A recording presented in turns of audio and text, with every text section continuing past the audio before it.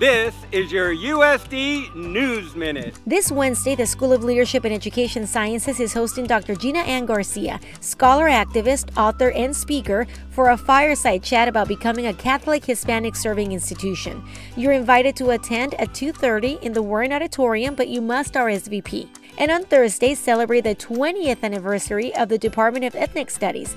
Enjoy a panel discussion in Manchester Auditorium from 3 to 5 p.m., followed by a reception with food, drinks, and music in Salomon Hall. And congratulations to School of Law Dean and C. Hugh Friedman Professor of Law Robert Schapiro. He's being honored by the San Diego Library Foundation with the Bernard E. Witkin Award for Excellence in Legal Education. The award honors members of the San Diego legal community for civic leadership and excellence excellence in the practice of the law, adjudication of the law, legal education, and the advancement of access to justice. Thanks for watching. We'll see you next week.